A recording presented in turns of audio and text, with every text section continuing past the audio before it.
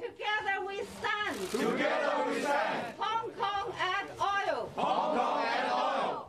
And today, we will resign from our positions because our partners, our colleagues are being disqualified by the central government's ruthless uh, move. And they found no reason at all to disqualify our colleagues.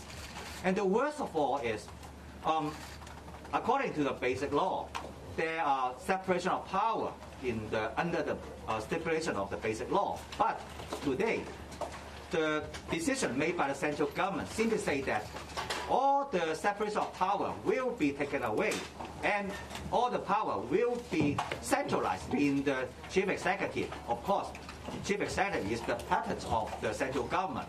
So as a result, the, that is the basic argument why we say the, that it, today is the end of the one country two system. And we want to say although we are facing very, very difficult times in this moment, but we will not give up. We will keep on our fight for democracy.